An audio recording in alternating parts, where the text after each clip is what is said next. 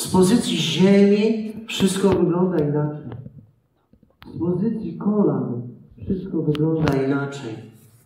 Leżący przed Bogiem krzyżem, rozłożony ten wielki szaweł jest upokorzony. To jest doświadczenie kryzysu, który uczy pokory, który uniża nas, nas przed Bogiem. Gdy jesteśmy wówczas mali, skromni przed Bogiem, leżący na ziemi, rozpoczyna dialog. Dzieje apostolskie 9:4 zaczyna się dialog w języku hebrajskim.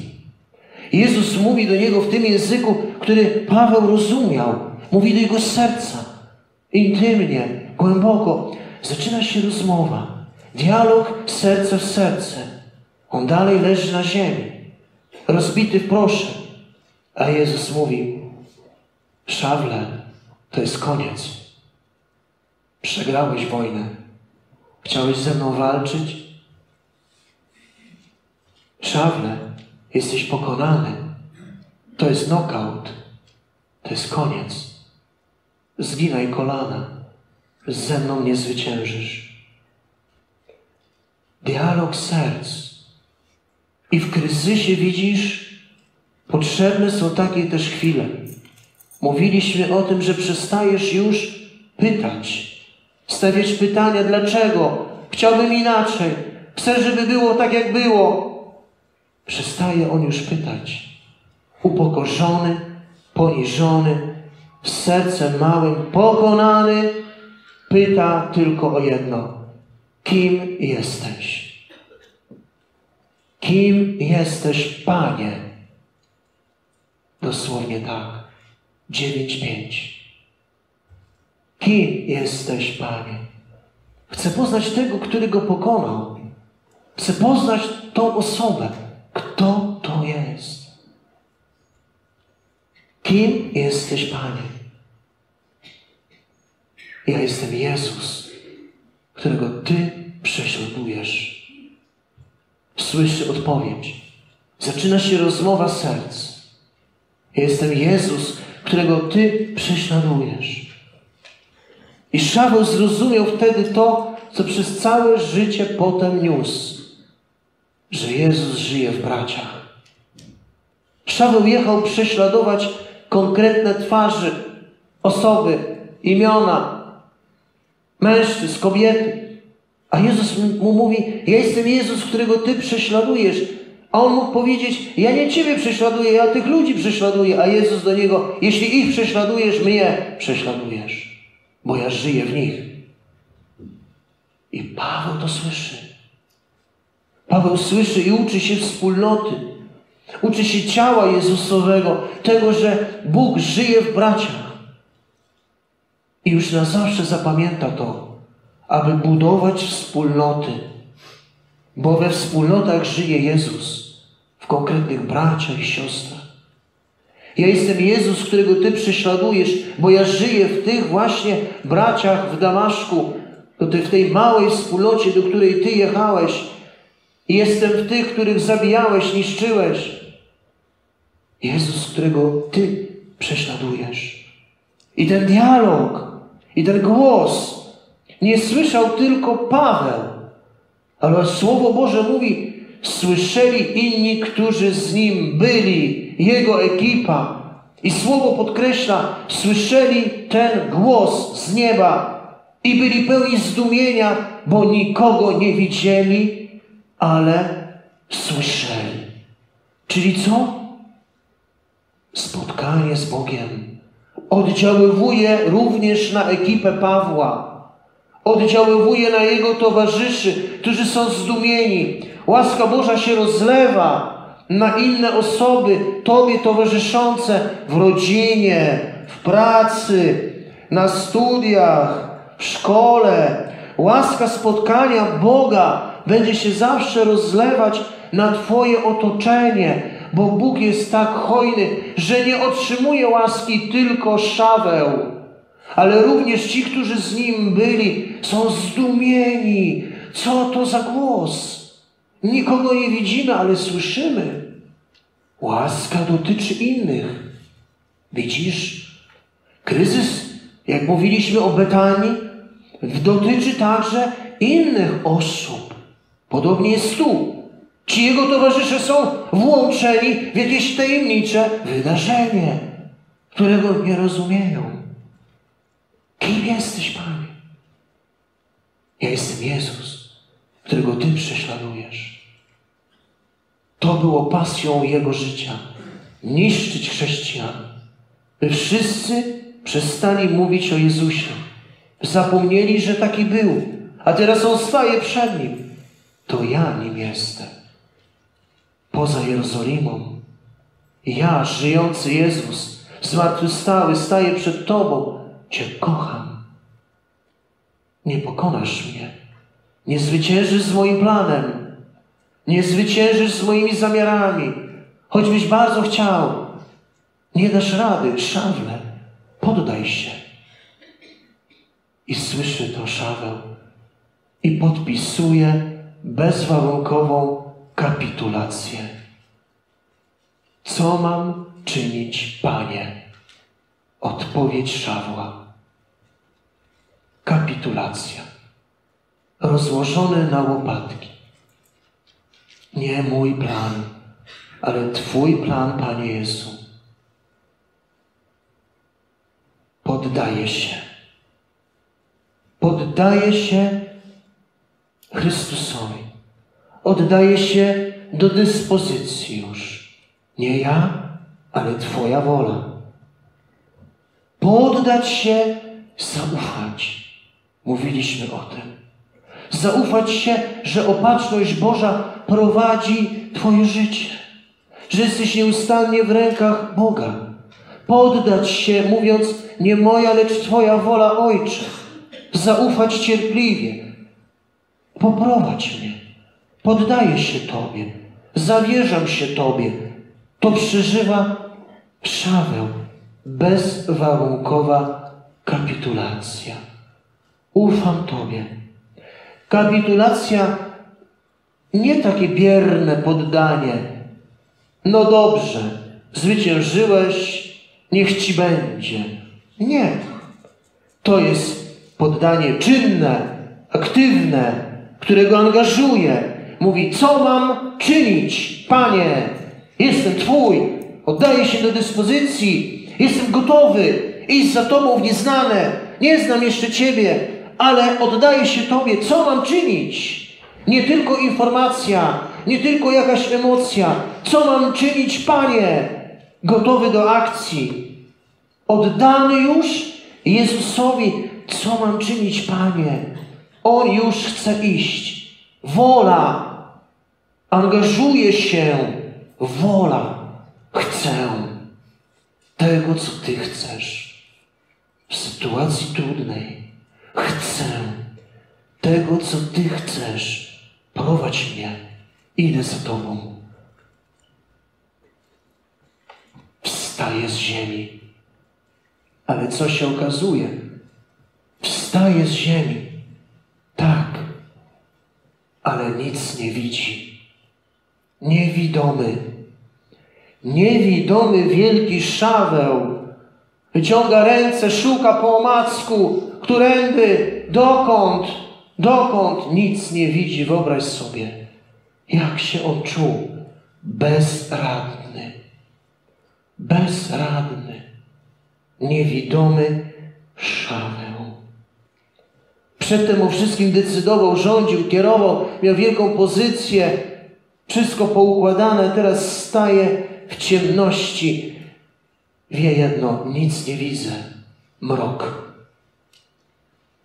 Nie wie, czy wzrok odzyska. Może już tak będzie na zawsze. Z białą laską. Może będzie musiał się uczyć Braille'a. Może będzie wciąż musiał szukać pomocy innych. Czy odzyskam wzrok? Ciemność. Trzy dni ciemności jak trzy dni Jezusa w grobie. Rozumiesz? Jaka przede mną przyszłość? Ogołocenie postępuje.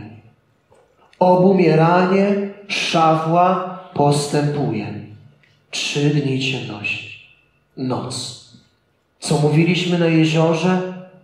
Paweł płynący do Rzymu, ziarno wpada w ziemię, musi obumrzeć. Obumiera coraz bardziej. Co to za Jezus, którego ja spotykam, a On mi wzrok odbiera, a ja nic nie widzę. Bezradny, rozbity. Czy będę widział?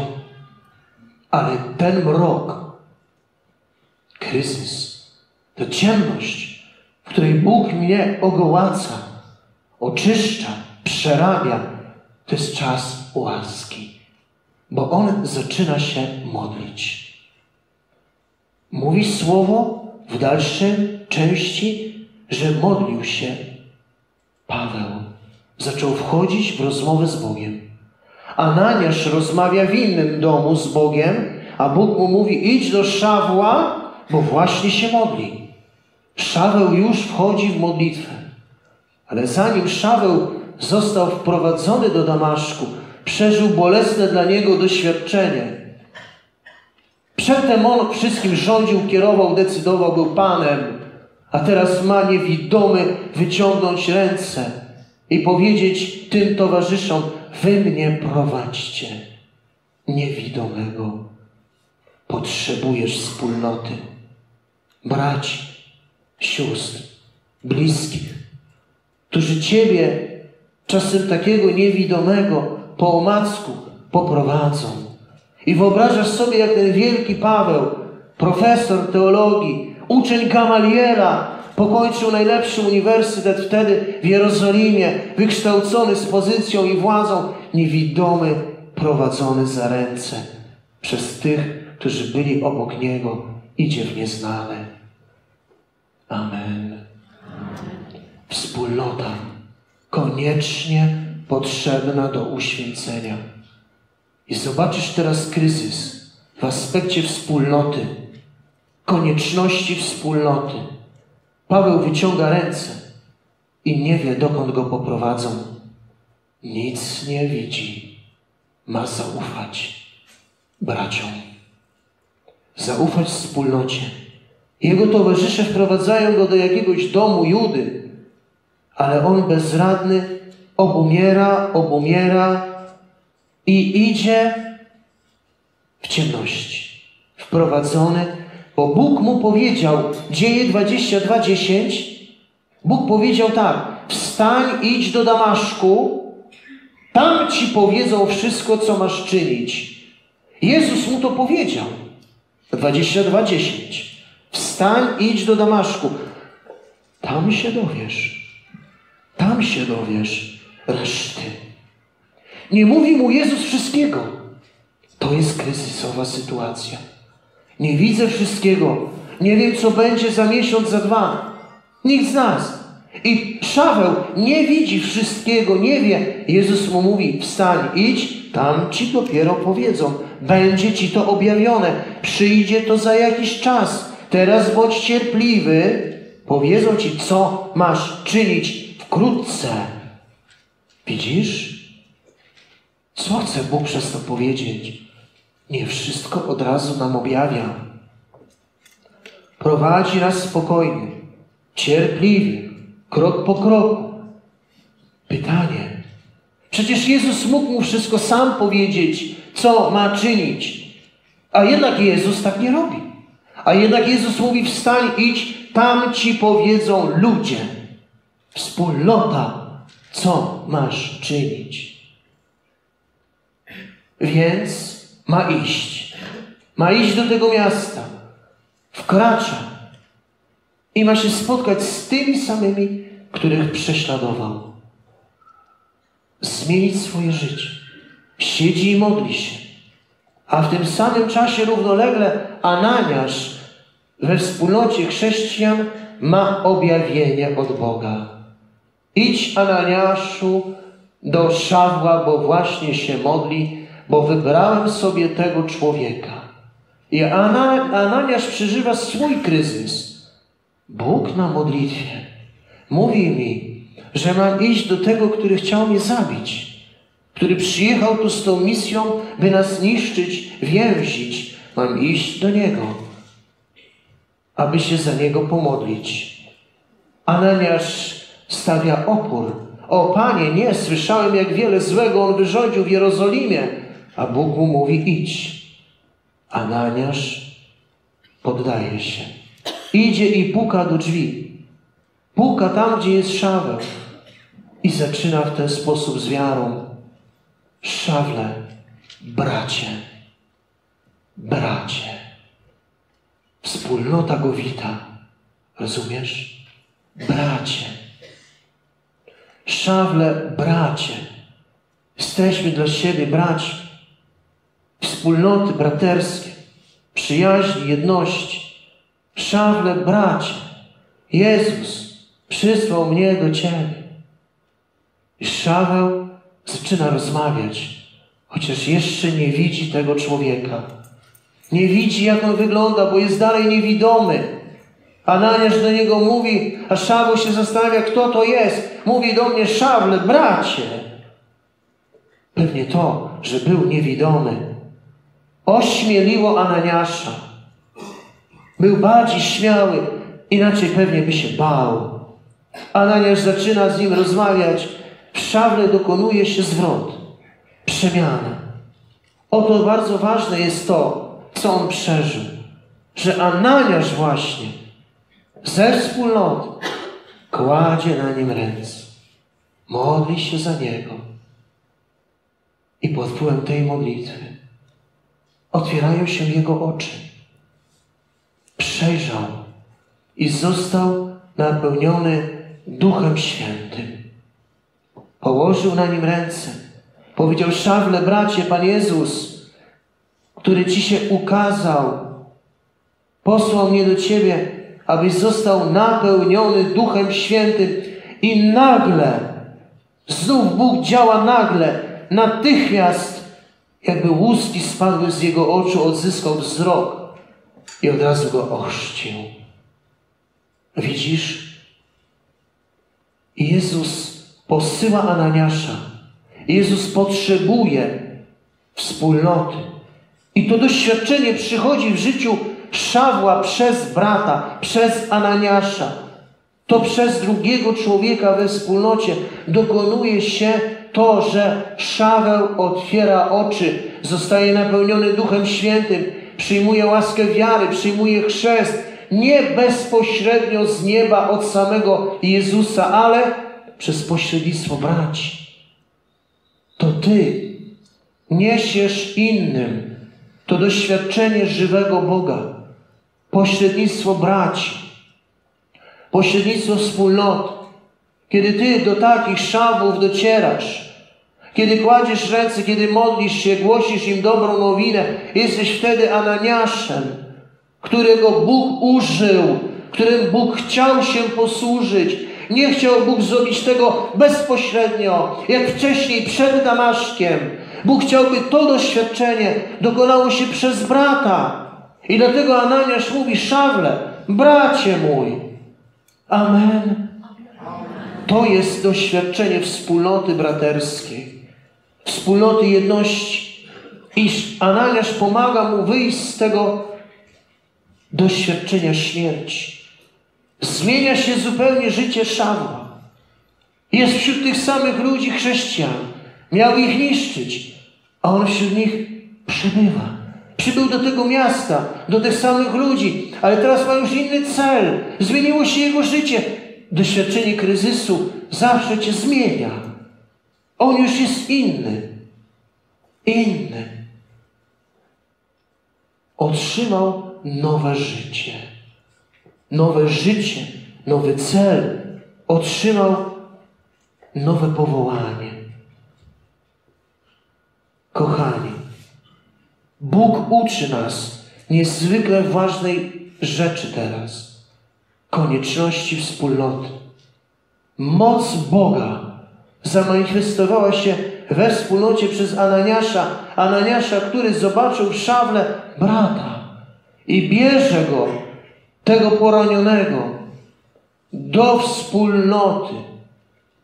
A we wspólnocie on otwiera oczy i widzi twarze, osoby konkretne, które miał niszczyć, a które mu wybaczają, które go przyjmują, które otaczają go ciepłem, miłością.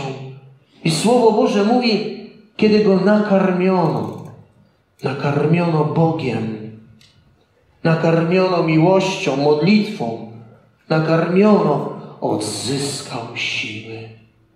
Wspólnota go przyjmuje, kształtuje, formuje. Pismo mówi, pozostał jakiś czas z uczniami w Damaszku. Tam on rośnie. Największy z apostołów rośnie w konkretnej, małej wspólnocie chrześcijan. A więc widzisz już, jak sytuacja kryzysowa, krytyczna, wstrząsająca w życiu świętego Pawła dokonała się nie tylko w tej pionowej więzi z Bogiem, ale także poprzez braci, poprzez wspólnotę. I on miał tak intensywne doświadczenie Boga, wiary przeżywanej w tej wspólnocie, że potem z niej wychodzi na misję, jedzie, ale będzie zakładać nowe wspólnoty, gdzie trafią następni, by odnaleźć wiarę, by znaleźć Boga, by zostać nakarmionymi, odzyskać siły, by byli napełnieni Duchem Świętym, by przyjęli chrzest. To jest droga rozwoju Kościoła. Amen. Więc ufaj Bogu we wszystkich trudnych sytuacjach, kryzysach, kłopotach, trudnościach. Ufaj Bogu. Podsumowując, wtedy, gdy przyjdzie zima w historii Twojego życia, czas obumierania, jakiegoś wstrząsu, pamiętaj, że przyjdzie też wiosna. Ufaj Bogu, bo kryzys będzie próbą ufności, zawierzenia, próbą cierpliwości, czasem próbą wiary.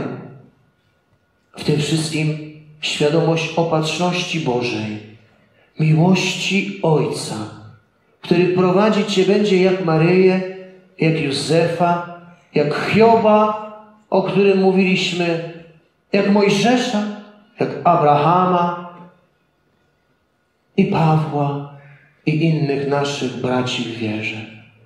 Więc ufajmy i zawierzajmy się ojcowskim rękom Boga. Amen.